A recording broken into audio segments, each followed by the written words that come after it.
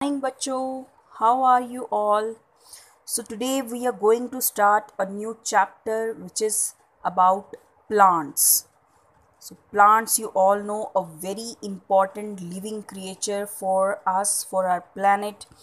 So this chapter is about plants making food. So how plants play a very important role in making the food in providing food for us for all the living creatures on this earth. So let's start the chapter. Living beings need foods to stay alive. So you you know very well being a living being you all know very well that we all need food to stay alive we can't live without food so plants need food but unlike animals they do not eat food so plants also need food but unlike animals unlike human beings they don't eat food right instead they make their own food so they make their own food वो अपना खाना खुद बनाते हैं a plant prepares its food in its green leaves so where they prepare their food they prepare their food in their leaves so first of all we are going to read about the parts of a leaf so जो पत्ता होता है बच्चों, जो leaf होता है, उसके कौन कौन से पार्ट्स होते हैं? First is leaf blade the flat broad surface of the leaf is called the leaf blade so ये जो पत्ता होता है बच्चों, इसका ये जो पूरा सरफेस होता है प्लेन इसको जो है हम लीफ ब्लेड कहते हैं।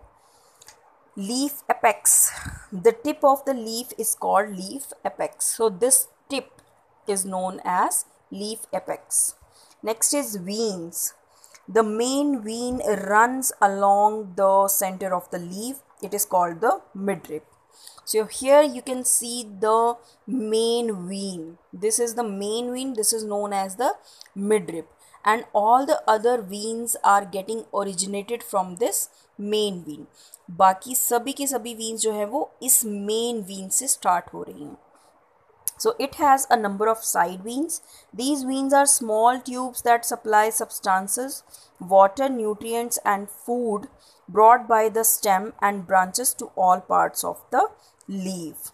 So these branches they provide food, nutrients, water, everything from the other parts of the plant to this leaf. So इनका main काम यही है कि ये लीफ के डिफरेंट डिफरेंट पार्ट्स में ये खाना, पानी और न्यूट्रिएंट्स पहुंचाती हैं। छोटी छोटी पाइप्स होती हैं। So they also take the food prepared by the leaf to the stem which supplies the food to the other parts of the plant so stem से ये क्या लेती हैं? स्टेम से ये खाना स्टेम से ये पानी और न्यूट्रिएंट्स लेती हैं और पत्ते तक पहुंचाती है। और पत्ते जो खाना बनाते हैं, जो food the food they prepare ये उसको कैरी करके स्टेम तक वापस लेकर जाती हैं। So this is the main motive of having these veins now next is next is बच्चों stomata so the leaf has minute pores और ओपनिंग्स कॉल्ड स्टोमेटास सो जो लीव होता है ना बच्चों, इसमें बहुत सारे छोटे छोटे माइन्यूट होल्स होते हैं जो हम वैसे नहीं देख पाते हैं। Without the help of microscope can not see with the naked naked eyes तो बहुत छोटे छोटे पोर्स होते हैं। जिनको हम स्टोमेटा कहते हैं, इस पूरे पैटर्न को हम स्टोमेटा कहते हैं। There are more stomata singular stoma on the lower surface of the leaf then the upper surface तो जो लीफ का लोअर सरफेस होता है, जो नीचे का हिस्सा होता है, उसमें ज़्यादा स्टोमेटास होते हैं, उसमें ज़्यादा स्टोमास होते हैं और जो ऊपर का हिस्सा होता है, उसमें कम होते हैं comparatively so air enters and leaves the leaf through these stomatas water vapour too is released through the stomatas so ये जो छोटे छोटे पोर्स हैं, इनका मेन मोटिव क्या है बच्चों? जैसे हम अपनी नाक से सांस लेते हैं, वैसे ही जो प्लांट्स हैं, जो लीव्स हैं, वो इन छोटे छोटे पोर्स से जो हैं एयर को अंदर लेकर जाते हैं और कार्बन डाइऑक्साइड और ऑक्सीजन को बाहर छोड़ सकते हैं। So just like nose nostrils इन स्टोमेटा का भी यही काम है। Next is petiole So the petiole or the stalk of the leaf attaches the leaf blade to the stem. It helps in the supply of water and food similar to the stem.